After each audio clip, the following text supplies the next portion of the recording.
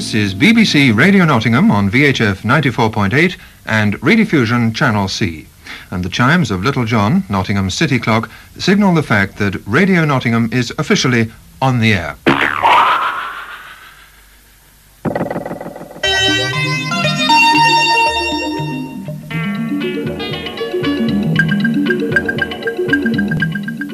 And now, the first edition of Nottingham Newsreel. And first, the local news read by Tony Church. A Nottinghamshire power giant gets underway. The £80 million station at Ratcliffe-on-Soar began feeding electricity into the national grid today. The station's taken more than four years to build, and by the time it's reached full capacity, it'll be providing enough power for 20 million light bulbs. It'll be burning 5 million tonnes of coal a year from the East Midland coalfields. A change at the top for the Conservative group on the City Council. Alderman William Derbyshire, who lost the leadership of the group last year, I well remember, and uh, with affection, some 40 years ago, Nottingham's first own radio station was 5NG. That was in the days of Uncle Laurie and Auntie Ruby. Well, now the wheel has turned full circle, and here we are again with our own broadcasting station. It's therefore a great pleasure to me as Lord Mayor of Nottingham to have the opportunity of taking part in tonight's important occasion of the opening of Radio Nottingham. I know my council welcomes the coming of local radio to the city, and I'm sure will do everything it can as a local authority to encourage and stimulate the interest and development of the service. I wish Nottingham hometown radio station every success, and its success will help to determine the whole development of local radio in this country. Our only instruction to Radio Nottingham are that the programs must always be lively, never dull, and must above all be tailor-made for Nottingham. Radio Nottingham. My name's Dave Wilkinson, and right now it's time for Town Crier.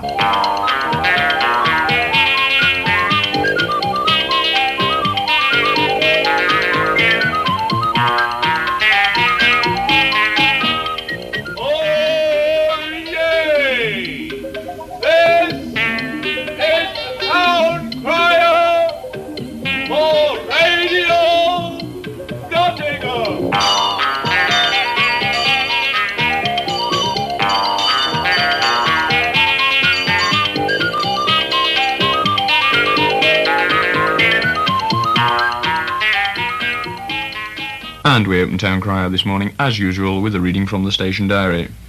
At quarter past seven this evening, there's a meeting of the Players Chess Club in the Pavilion at Players Recreation Ground. There's also a solo drive at the YMCA in Shakespeare Street.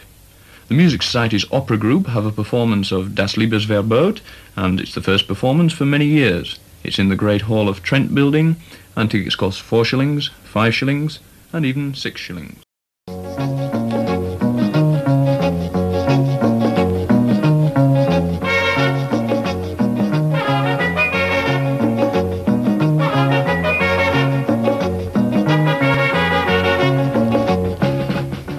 Hello there, and welcome to another Wednesday Ringing and Rabbit session, the programme in which you can join by picking up your telephone and dialing 47643. That's the number to ring to air your views, put your questions or whatever to the studio panel, 47643. And our subject this morning arises out of last Thursday's programme when four... What about lamb? That's been down the last week Yes, or two, it is. hasn't it? Spring English spring lamb is still keeping the same price last week, but it's reasonable by comparison to the beef. The shoals of lamb are still four and sixpence and four and eightpence a pound. The legs are six shillings to six and six a pound, depending upon the cut and the bone content. Loin is six shillings to six and six two. Breast one and six to two shillings, depending again upon the the uh, part of the breast. You're tuned to Radio Nottingham, VHF 94.8 and Rediffusion Channel C's, is Greg saying. Uh, it's about the only thing he can say these days because he disgraced himself so much last week when he got all the things wrong and got his tail on the records and things like that that uh, really, Greg, I'm surprised you're speaking at all. Well, you are. Anyway, and what have you found for us today? What's in the brand tub?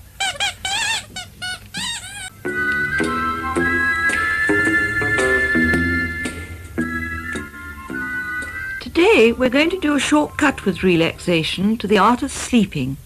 We'll start by relaxing your whole body in four breaths, then we'll go on from there. Now, warm and comfortable are you? Roll your head against a pillow so that it's well supported and close your eyes. Ready? We'll do one breathing to start with, and as before, feel a general tired weight all over as you sink into your bed or chair.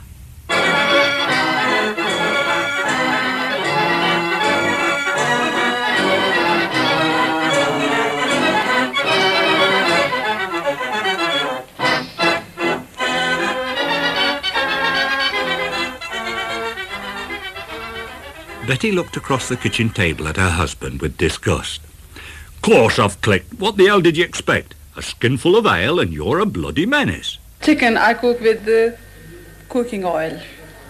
And uh, yes, it's very simple. I, there are few spices used. Uh, red pepper in powder form and uh, um, some tomatoes and yogurt. We moved into a furnished room which consisted of uh, furniture and a kitchen at £3 10 shillings per week. I told the landlord I was appealing to the rent tribunal for a, a reduction and he said, oh, you've made things difficult. A man who's having tenancy problems. In You and the Law today, we examine the relationship with the landlord and his tenant and ask the question, just how much is an Englishman's home his castle? With me are two city solicitors. First of all, gentlemen, before we hear more from this man with his complaints, I'd like to ask you this question. How much is an Englishman's home his castle?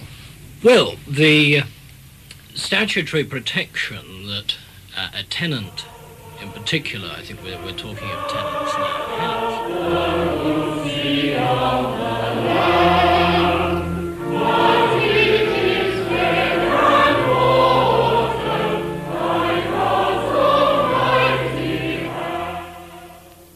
Wowee! What a fantastic hit. Georgie Fame and the Ballad of Bonnie and Clyde. You're tuned to On the Heath, and this is Al Heath.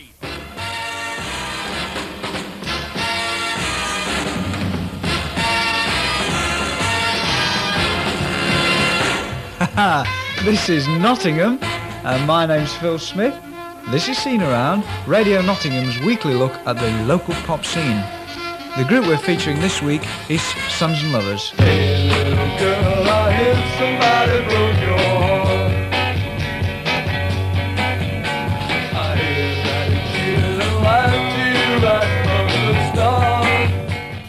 people are the do-gooders. Uh, they're always trying to jump on the bandwagon, and especially in an area like St Anne's.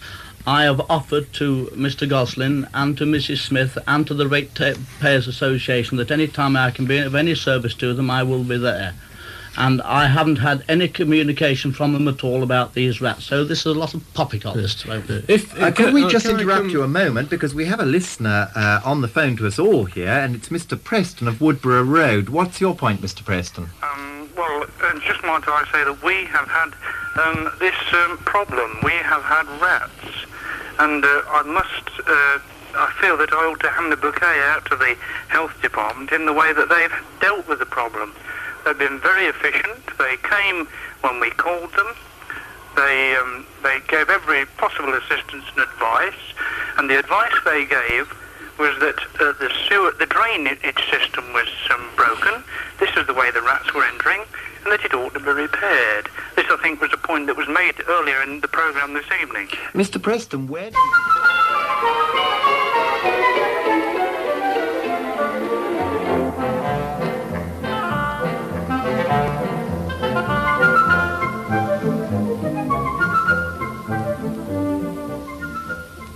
Hello there. Dennis McCarthy here with the first of our new series of dog programs in which we take the lead.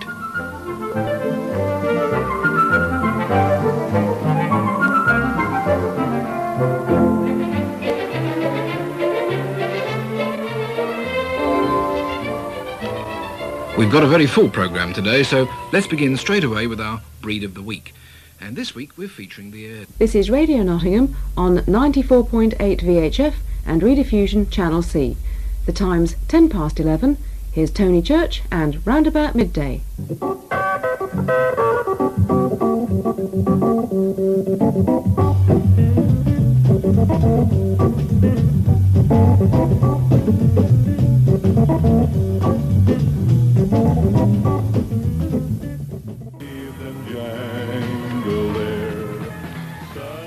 That's where we take our leave of Baldunican and the early programme on Radio 2.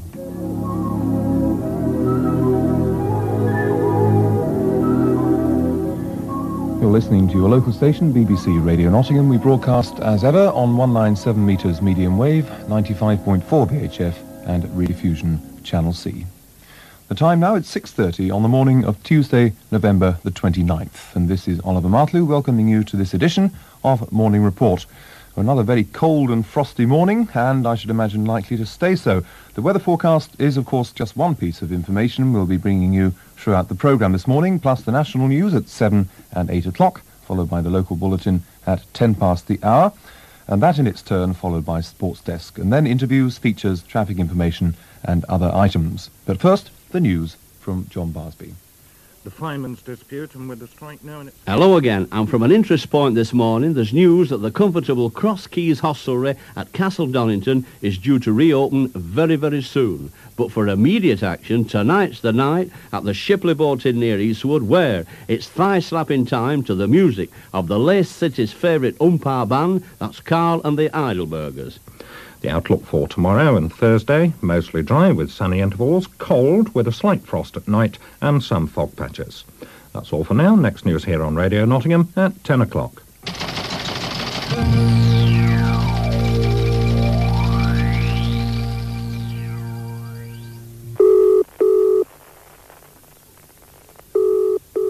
Ring for service. The number to ring, 44444.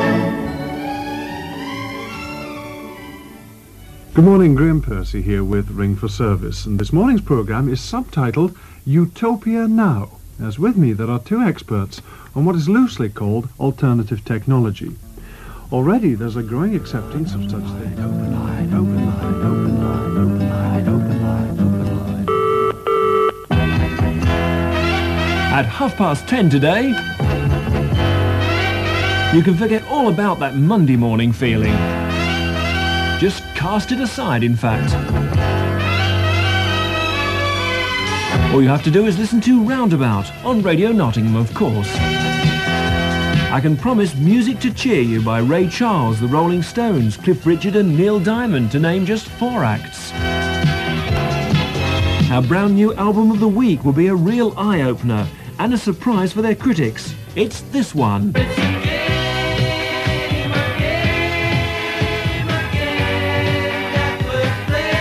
The title track from the Bay City Rollers.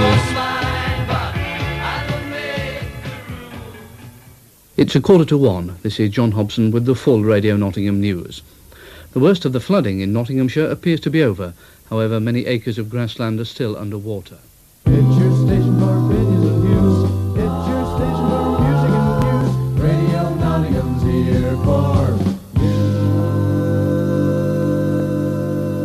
The time now is 1.30 and here's Freddie Gaunt with Radioscope. Hello and welcome to the programme, which today looks at the months and what their names mean, and also the fact that the new year has changed. Well, changed the time of year that it comes in anyway. Hello and welcome to Wednesday's edition of Afternoon Special.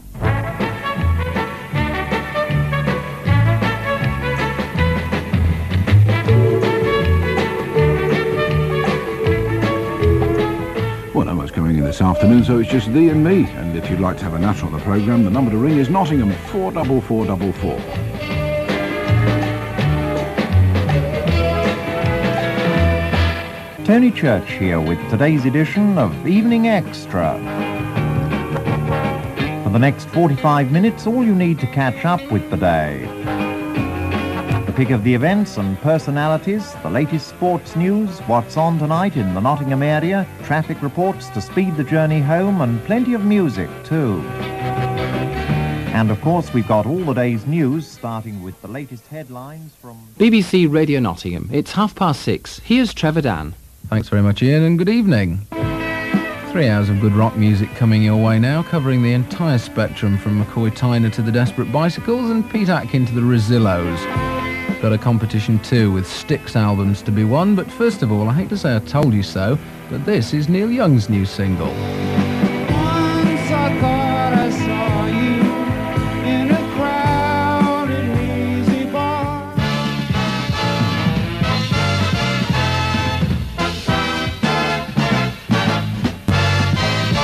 Hello, good evening, and a very warm welcome from me, Andrew David, to you and another half hour of From the Top, all the very best instrumental music released this week. And I can promise you in today's programme a couple of TV themes, the new LP. And that means it's time for another helping of midday musical madness with this week's edition of JC's Jukebox.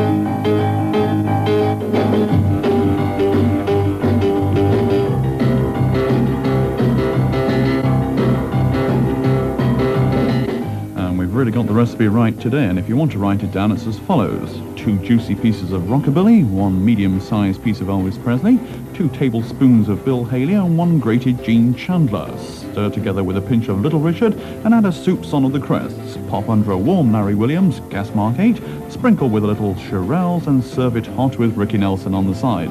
Doesn't smell very nice, but it sounds great. And my mouth's watering already, so take it away, Fats. Today's composers here on Classics for You are the two Bs, Bach and Beethoven. The program ends with a complete performance of Beethoven's Symphony No. 2 in D, Opus 36. First, though, one of Bach's most popular works. It's the Toccata and Fugue in D minor, BWV 565.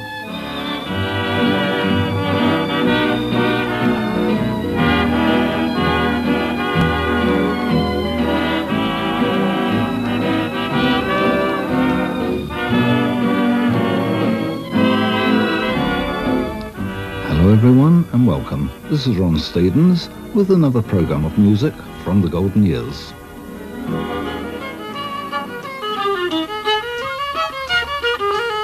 Hello, my name's Stephen G, and this is Folk Scene.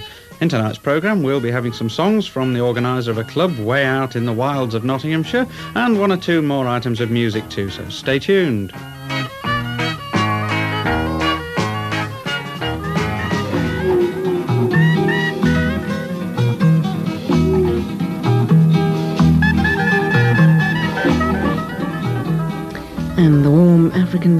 Of Manu Dibango brings Anything Goes to an end for this evening. Hope you've enjoyed my kind of music for the last 45 minutes and that you'll join us again next week. Oliver Martlew will be back again with you tomorrow morning at half past six, but now the time's nine o'clock and we go over to London for the national news.